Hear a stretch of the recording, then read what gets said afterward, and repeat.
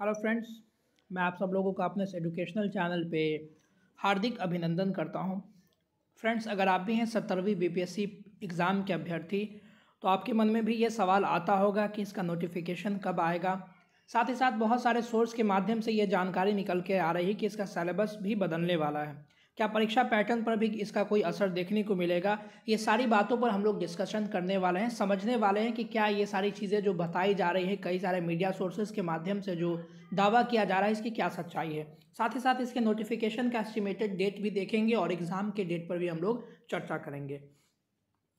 तो सबसे पहले आपको बता दें कि पिछले साल अतुल प्रसाद जी ने एक ट्वीट किया था कि जो सत्तरवीं बीपीएससी परीक्षा है, या उसके अलावा जो बीपीएससी की जो परीक्षा है, वो आम तौर पर 30 सितंबर के दिन से इसकी जो प्री परीक्षा है, वो आयोजित की जाएगी।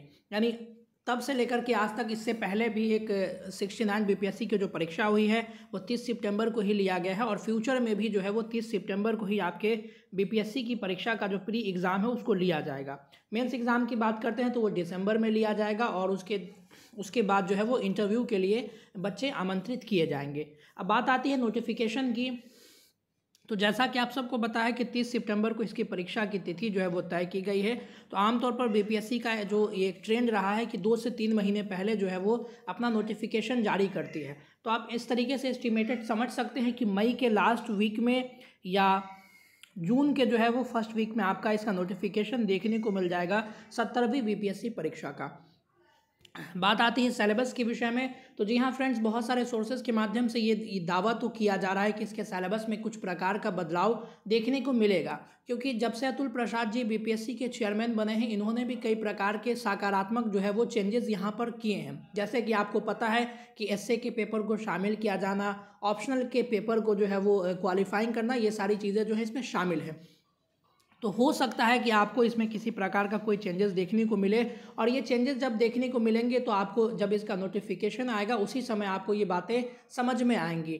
अभी फ़िलहाल ऐसा कहा जाता है कि जो है इस पर इसके चेंजेस होने की संभावना फ़िलहाल नहीं दिख रही है, लेकिन इसको पूरे तरीके से नकार देना भी जो है वो सही नहीं है। हो सकता है कि किसी प्रकार का कोई चेंजेस आपको सिलेबस में भी देखने को मिल जाए।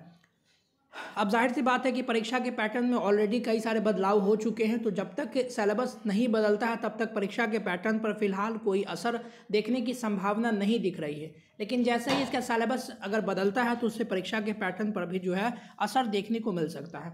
तो ये था ओवरऑल सत्तरवीं बीपीएससी परीक्षा पर अपडेट उम्मीद है कि आप लोगों को वीडियो पसंद आया होगा। अगर वीडियो पसंद आया तो इसे लाइक व अपने दोस्तों के साथ शेयर करना ना भूलें और इस तरह के इन्फॉर्मेटिव वीडियोज़ देखने के लिए हमारे चैनल से जुड़े रहें। थैंक यू वेरी मच मिलते हैं अगले वीडियोज़ में। तब तक के लिए धन्यवाद। God bless you all